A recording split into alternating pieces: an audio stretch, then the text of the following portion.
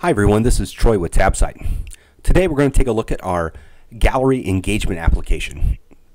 Uh, this is a great application to allow you to easily create a photo gallery and place it as an additional tab on your fan page. So let's get started. We'll take a look. Um, I'm at my Chicago News fan page. I'm going to click on Photos and I have a uh, gallery engagement app already set up. As you can see, we have a header image here that says Chicago Skyline Photos. We have our like, tweet, G+, share, and pin, uh, Pinterest uh, pin it uh, icons there so you can uh, socially share these with a variety of uh, social software. As you can see, the images are rotating through here. We've uploaded all our images here.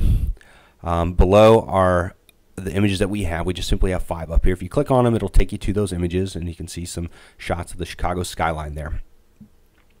Uh, below that, we also have additionally at the bottom the like, tweet, G+, uh, share, and pin it.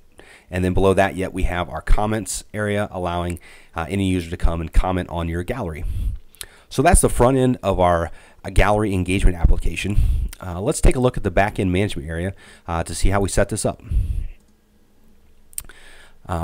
back here is our gallery engagement app manager area.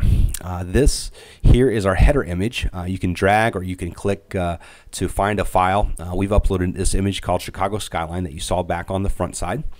Um, below here we have uh, gallery images. You simply upload uh, all your images here um, and you can drop them in and go through there you can actually you can title them you can put a caption you can also incorporate a url for each of those to link to different areas. So if you have a gallery that you want uh, to link to different areas of different websites you can have those images do that.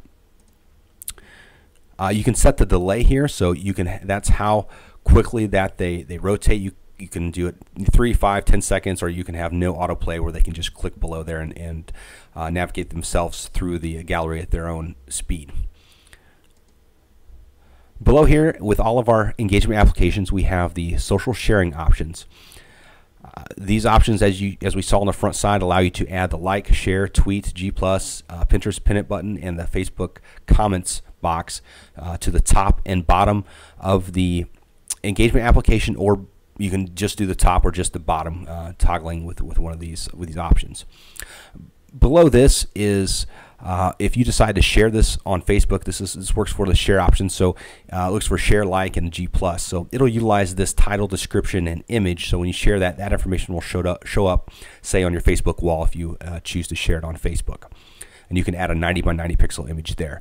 Uh, below there is the uh, tweet text. So if you have the tweet option uh, on, you can pre-populate the tweet with some tweet text that caters to your uh, gallery. Right here we have a, a great Chicago skyline gallery, so enticing people to, to click on that further. Below that we have a like gate, which is, we don't have that on, what, but what a like gate will do is allow you to uh, put an image in front of the gallery, enticing people to like your page prior to seeing the gallery. So they can't see the gallery until they like your page. Once they like your page, it'll reload and it'll show your gallery to them. So it's a great way to entice people to like your page and, and gain more likes to your fan page. Below is a background color. You can choose whatever color you want as far as the background that goes behind there. We simply have white chosen. Uh, below that, with all of our engagement apps as well, we have some promotional tools. Um, we, we have the ability to add an image uh, that generates some code that you can grab, and you can actually put that code on your website that'll link back to your gallery to get people to get to your fan page and, and entice them to um, maybe like your page or get back to gallery and see that from you. So you can place that code anywhere on the web, on a blog, on a website, whatever you choose there. Um, below that, we have uh, what we're calling a smart URL for mobile slash PC. This is a URL that we recommend utilizing anytime you post to the fan page.